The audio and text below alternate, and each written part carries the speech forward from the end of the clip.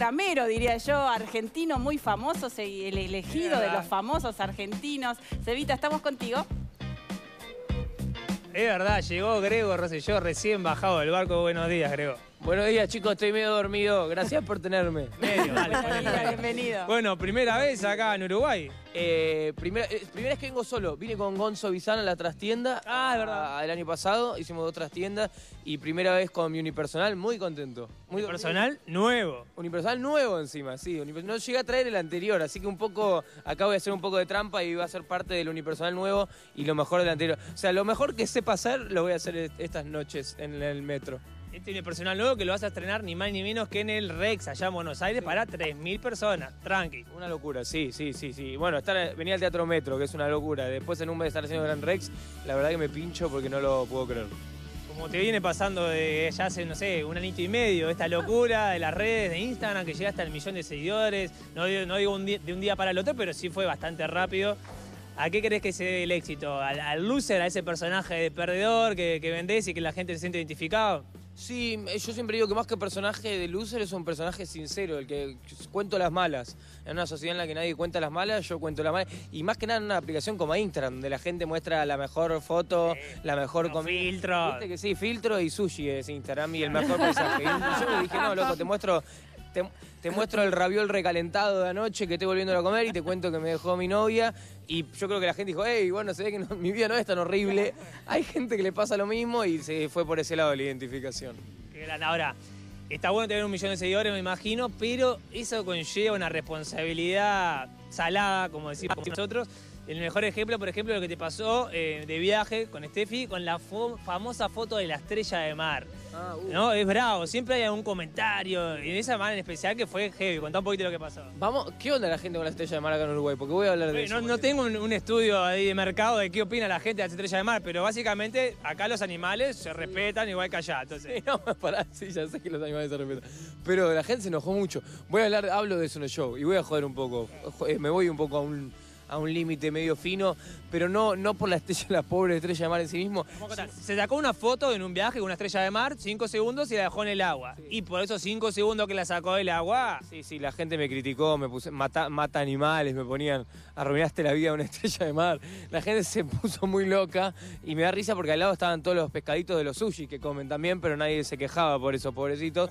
Eh, y, y sí, no, hay una, una cuestión en un momento de tanta exposición que de cualquier cosa que hagas van a encontrar una manera de criticarte. Siempre, o sea, si es la estrella de mar, pues la estrella de mar, si es la foto con tu novia, es porque la foto con tu novia, si pues tu novia está muy en bola, porque está muy en bola, o si no está, si el chiste no fue tan... Siempre, y bueno, en un momento uno tiene que aprender a convivir con eso, me cuesta un huevo, voy a terapia, voy dos veces por semana, está todo de laburar para que no me importa, ahora estoy laburando en televisión también, entonces empiezan las, las- las críticas de la tele también, así que... las críticas son las menos, si no, no podrías hacer esto, obviamente. No, obvio, obvio, obvio, obvio. Es la, es la menor parte, es la, la teoría del 33%, me decía Mariano Yudica el otro día. Hay un 33, ¿Cómo? Hay un 33 que te quiere, hay un 33 que no te quiere y hay un 33 que no te conoce. La idea, la búsqueda del artista que quiere llegar a la masividad es apuntar ese 33 que no te Llegar a un conoce. 66. No, no, llegar a ese 33 que no te conoce y saber que de ese 33 se van a dividir, van a ver los que te quieren y los que no, y hay que, hay que, hay que asumirlo, no hay manera de cambiarlo. No se entiende, bueno. no se entiende que Sí. esos seguidores que no te quieren, ¿para qué te siguen? Es como que es algo que, que lo hacen como para autocastigarse. Sí. Sí, es tremendo. Y, más en Twitter que se ve el que te sigue. De repente leo tweets que dice, eh, te odio, no hace reír a nadie, entro a la cuenta y dice, te sigue. Digo, "¿Pero ¿para qué me seguís?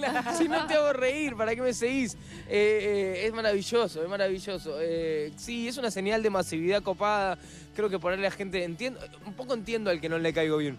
Porque al que no le caigo bien abre su Instagram y por ahí le aparezco en la lupa, prende la tele, estoy en televisión de aire, estoy en televisión de cable, estoy para hacer una peli, entonces calculo que debe estar odiado, chaval. Digo, ah, no lo quiero ver más, este tipo me lo ponen en todos lados.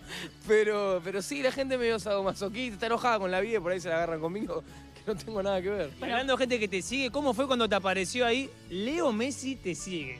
No, una locura, una locura, una locura, una locura. Yo sé que acá para ustedes la joda sería que me decía Suárez, pero Claro. acá no lo conseguí.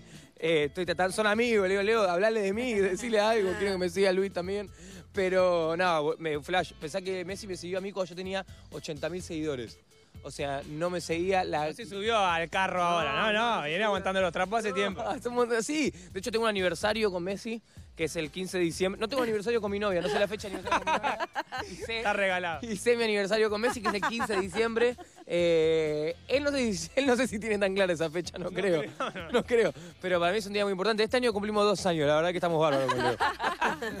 Y lo dos años de pareja y lo conociste una vez, estuvieron Sí. juntos. Un solo encuentro, un solo encuentro, fue muy fuerte. Un par- Intenso, intenso. Un par de likes también, un par de vistos que me clavó cuando le mando mensaje directo, pero ahí en la relación va bien. Yo trato de, de no pensar que está con otra gente, estoy un poco celoso de Suárez y Neymar, pero va bien la cosa.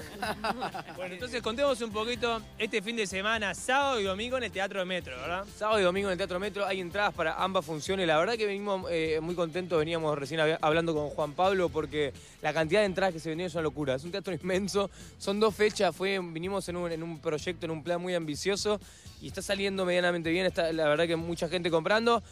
Quedan lugares todavía para ambas funciones, eh, se sacan por Habitat las entradas, así que los espero porque no, yo siempre digo, si, si alguno de los hice reír en un videito de Instagram, yo hago video de Instagram hace dos años, hago stand-up hace siete, lo hago mucho mejor, lo que hago arriba del escenario es mucho mejor que, lo de in- eh, que lo de los videos, y si no te gusta lo de los videos, vení igual que... Dame una chance, vas a ver que te Claro. convence. Claro, que te voy a sorprender, Y el exactamente. domingo, invitados especiales el domingo, o sea, voy a estar yo ahí el público, pero arriba del escenario va a estar ni más ni menos que el Fer Vázquez. Sí, viene Fer Vázquez, va a estar Seba en el público, eso es, es muy importante para mí, de verdad lo digo.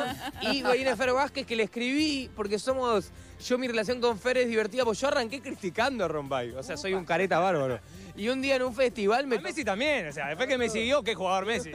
y me tocó un día presentarlo y estábamos compartiendo camarín y yo miraba para abajo con miedo, que no se den cuenta quién soy, que no se den cuenta quién soy. Y de repente los chicos de la banda y me dice, ¿me puedo sacar una foto con vos? Y dije, uh, me parece que no vieron todos los videos estos chicos. Eh, y Fer me dijo, yo sí los vi todos, pues Fer es más vivo.